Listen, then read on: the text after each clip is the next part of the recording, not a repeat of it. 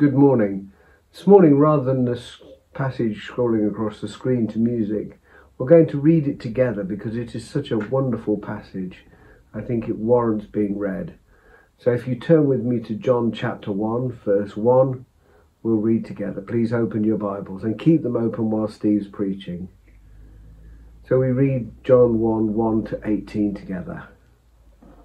In the beginning was the Word, and the Word was with God, and the Word was God. He was in the beginning with God. All things were made through him, and without him was not anything made that was made. In him was life, and the life was the light of men.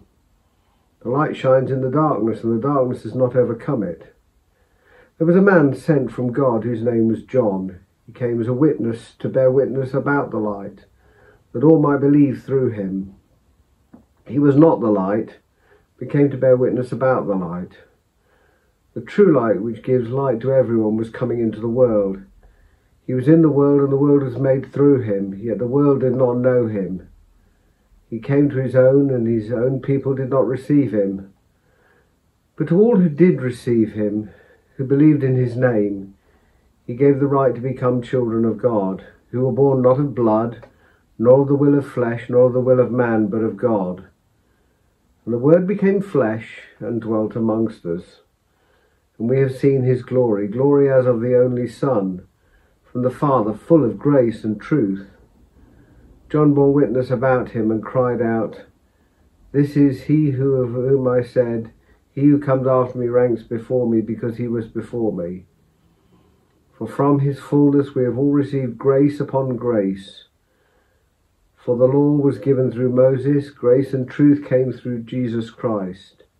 No one has ever seen God, the only God, who is at the Father's side. He has made him known. This is the word of the Lord. Thanks be to God.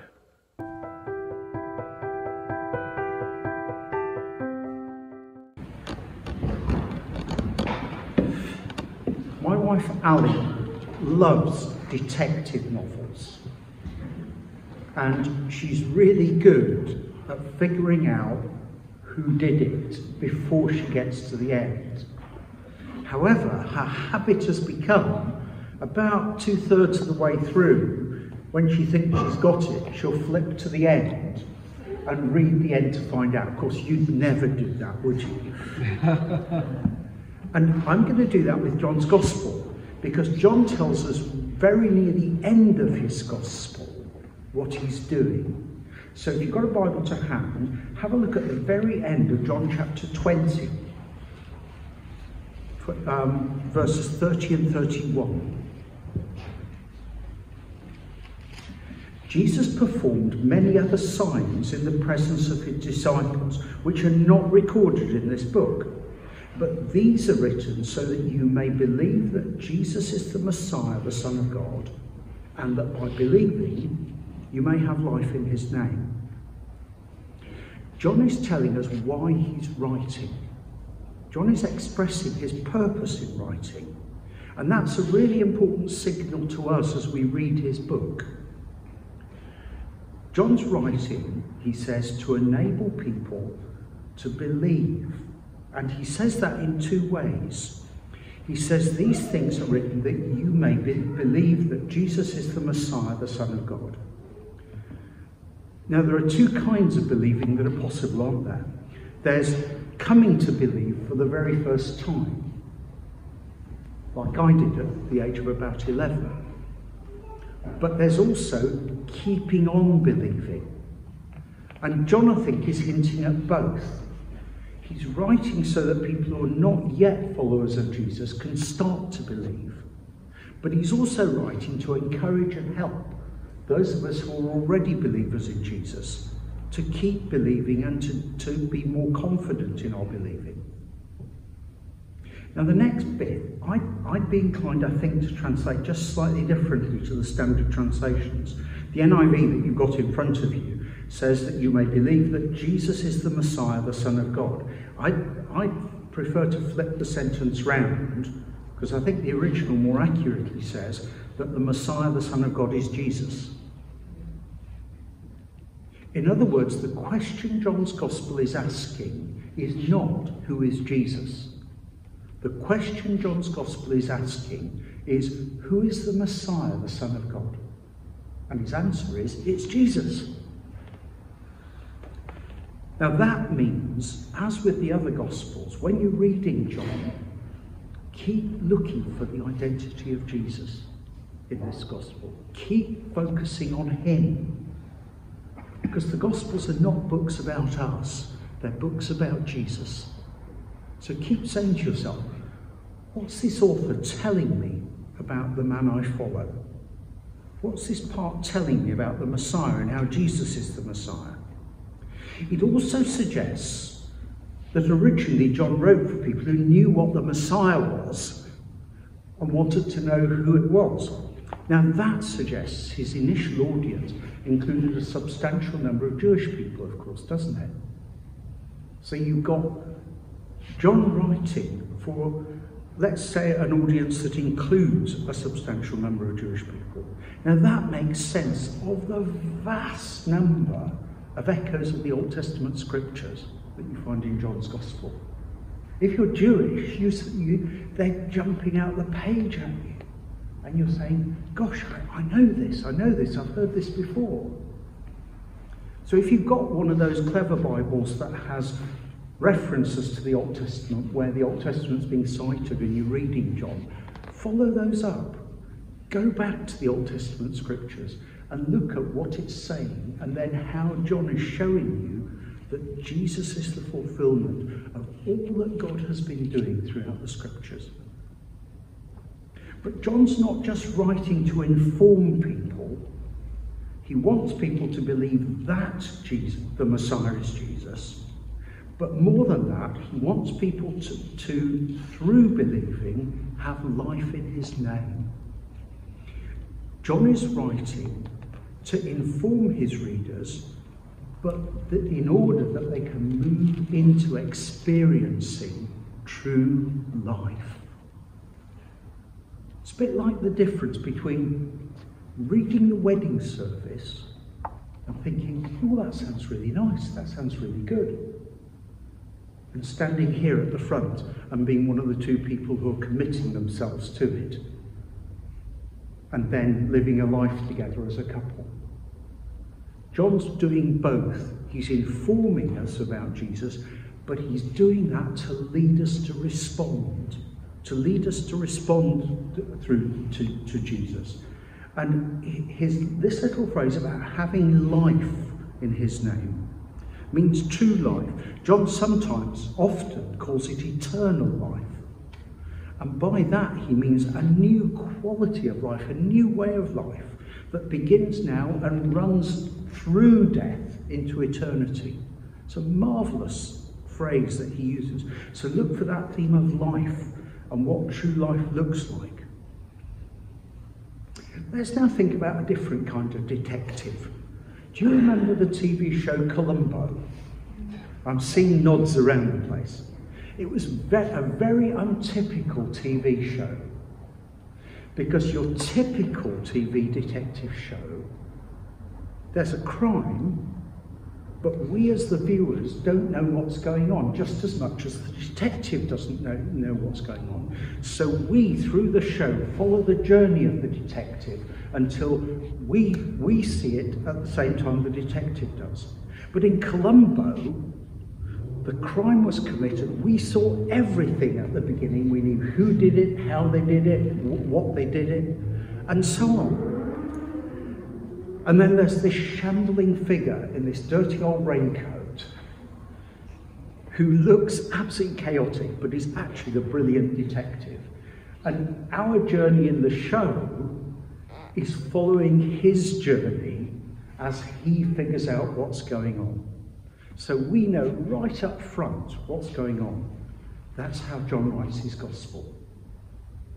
So have a look at the very beginning of John's gospel now. And let's look at how he does that. People sometimes call this a prologue to John, and in a sense it is, but I, I think it's more of a doorway. It's, it's a way in And in it, John is flagging up a whole bunch of things. So it's maybe a bit more like um, the, the, the, piece that you get at the beginning uh, as an overture for a longer piece of music. And in an overture for an opera, for instance, you get all the major themes of the opera played over by the orchestra. Just very, very briefly. And then the rest of the piece will develop them very fully. That's what John's up to here. There are three sections here reflected by the paragraphs you got in your, your Bible. And in each of them, we're going to notice how God works within and through the Word. And we're going to look back particularly to notice echoes of the Old Testament scriptures and then forward into themes that John develops. Those first three words should be ringing all kinds of bells in the beginning. You're thinking of Genesis 1, aren't you? In the beginning, God created the heavens and the earth, and they're exactly the same words as the Greek translation of the Old Testament. This section of John goes back before creation very different to the other Gospels. Mark starts with John the Baptist, Matthew and Luke start with the birth of Jesus. John goes back into eternity, to before the world existed. And the parallels with Genesis 1 go on in these first five verses. In verse uh, in Genesis 1 3 and six more times in Genesis, God said, God spoke and something happened. So Jesus is the Word. As God spoke the universe into being, Jesus the Word was with God. And through him, verse 3, all things were being made. Genesis 1 3 particularly says, God said, Let there be light. Look at verses 4 and 5. In him was life, and that life was the light of all mankind. The light shines in the darkness. Jesus is the true light. He comes to shine God's light into the world, just as God at the beginning spoke light into being. And then in Genesis 1:20 to 24, God creates living creatures and John here has said, In him was life, verse 4. Jesus is the one who brings not just biological life into being, that was the Genesis creation, but makes people alive in the fullest sense. They're alive to God through him. Then look on to verses 6 to 13, which is about the Word and the world. And we meet John the Baptist there's a man sent from God whose name was John. John the Baptist was sent by God, and his role was a witness to testify concerning that light. That's John's role. And, and John, John the writer is going to develop that. In verses 19 to 21, John gives testimony when the Jewish leaders sent priests and Levites to ask who he was. And he didn't fail to confess, but confess freely, I'm not the Messiah. And then in verse um, 29, he says about Jesus, Look, the Lamb of God who takes away the sin of the world. Or in verse 34, he says, I've seen and testify that this is God's chosen one. John is somebody who, who's like a signpost. That's his role in John's Gospel, to point to Jesus. But the Word himself comes into the world, verse 9. And he's in the world, verse 10. Now, world in John is a big word, and it's got at least three sides to it. It can mean physical reality, as it does here. He, he came into the world, he came into the physical reality of world and left behind the glory of heaven. But more than that, the world is, is a body that God loves, famously, the most famous verse in the Bible, probably, John 3.16, God so loved the world that he gave his only son. But it's also a symbol of wayward humanity. And that's what um, verse, verse 10 is going to go on to say. The world did not recognize him. Indeed, later, Jesus says in, in 1518, if the world hates you, keep in mind that it hated me first. Now, the difference is, is really stark because although he's physically in the world, the world itself doesn't recognize him. And strikingly in verse 11, he comes to that which was his own, the world that he created, but his own, and that's his own people, did not receive him. The people of the world are his, for he created us. And people fail to recognize Jesus. The world divides. Some, verse 12, receive him. And they're the ones who believe in his name. There we are back at John 20, 31 again. That's John's purpose of, of persuading people to believe.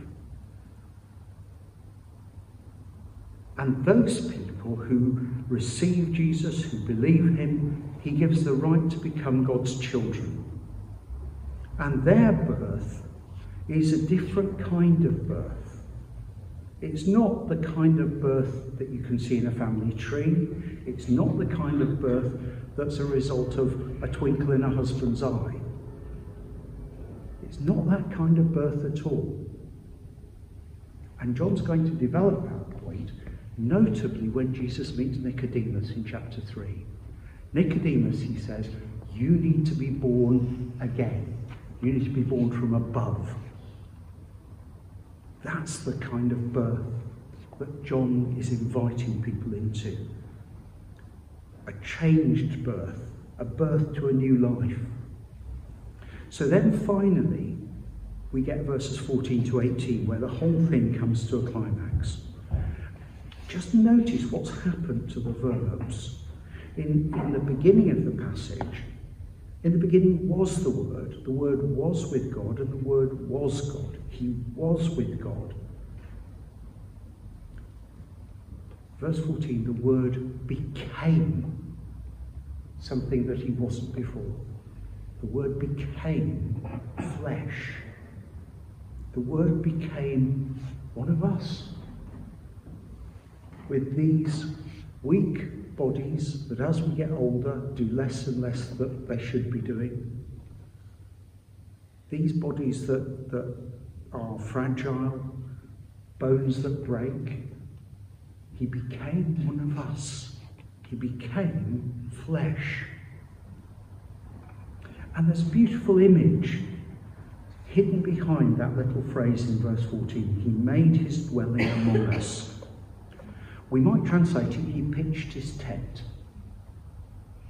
Um, and the metaphor that's being used is of the tent where God met people in the Old Testament. Remember, in the period of the wilderness wanderings, God met with his people and he gave them instructions how to build a tent where he'd appear and meet people. And he appeared particularly to Moses and explained to Moses what he should do. God lived in a tent for many, many years. So Exodus 40, verse 35 says that Moses couldn't enter the tent of meeting because the cloud of God's presence had settled on it and the glory of the Lord filled the tabernacle. Or Leviticus 26 says that I will put my dwelling place among you. I will walk among you and be your God, and you will be my people. That that tent which marked God's presence among his people in the Old Testament scriptures is now there in Jesus. He has pitched his tent. He's come to live among us. And that's why we've seen his glory. Glory of the one and only who came from the Father, full of grace and truth. The Jews, of course, had a festival that they called the Festival of Tabernacles when they lived in tents. They built temporary shelters and lived in them for a week. and Jesus here is the fulfillment of all that that tent and that festival pointed towards. Uh, you'll find that John talks about the Jewish festivals a number of places through his gospel. And again, it's worth tracking that. He is the one and only. He's the one of a kind. There is nobody like him.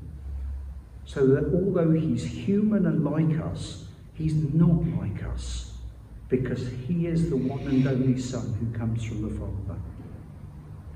And John's testimony in verse 15 points forward to what he's going to say about Jesus.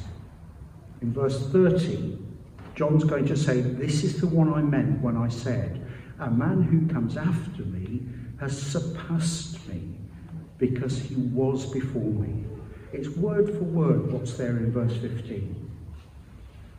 When John actually meets Jesus, he says, Yes, this is the one that God told me about.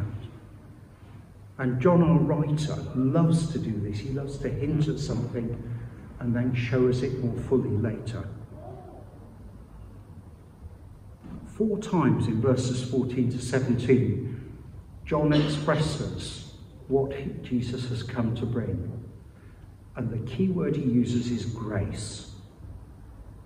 So, verse um, 14, he's full of grace and truth. Verse 16, we've all received grace in place of grace already given. Verse 17, grace and truth came through Jesus Christ. Grace is, is just a wonderful word in Scripture. It speaks of God's generous giving to humanity in and through Jesus. God treats us with a kindness and a generosity that we absolutely do not deserve, but which He gives us freely in and through Jesus Christ. That's, that's what Jesus brings. And verse 16, you, uh, you could translate it something like grace ladled over grace. Think, think of pouring chocolate sauce over ice cream and then pouring a second layer of chocolate sauce. That's what's going on. The most wonderful thing you can eat, well, at least that's my wife's view, um, the most wonderful thing you can eat, and then more of it. Grace poured over grace.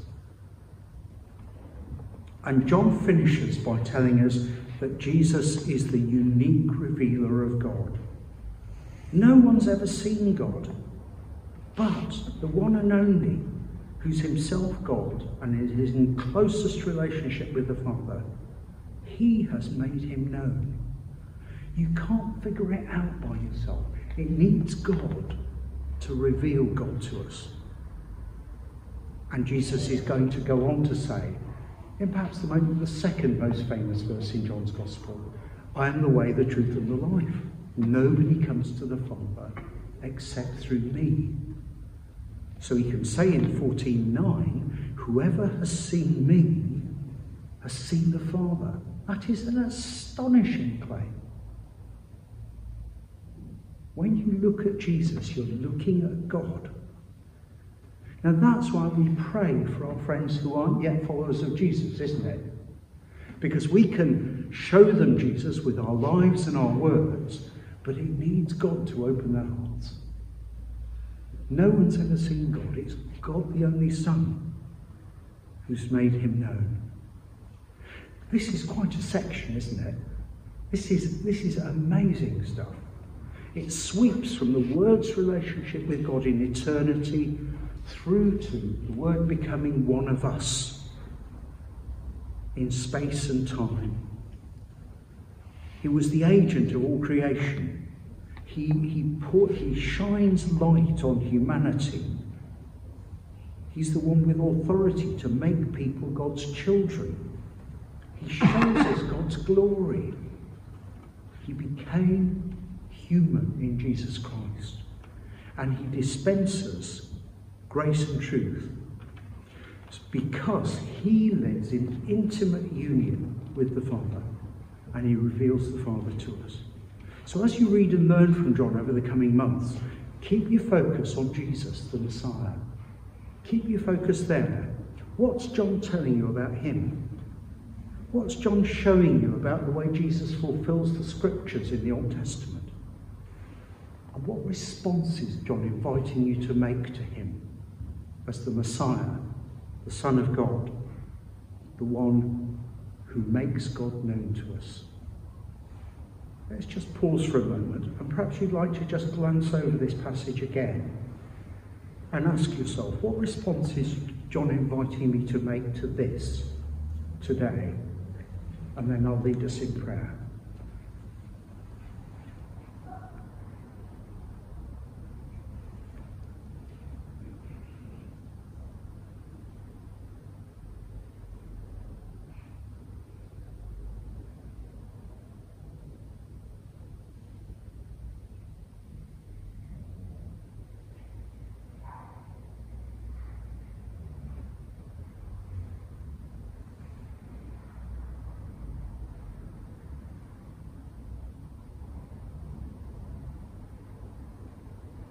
Thank you so much, Lord Jesus, that you, as the creator of the universe, have made yourself known to us in becoming one of us. Give us ears to hear and eyes to see as we read John's record of all that you are and all that you did that we too might be strengthened in our belief in you as the Messiah, the Son of God, and that we might more and more experience that true life that people who trust in you experience. For Jesus Christ's sake. Amen.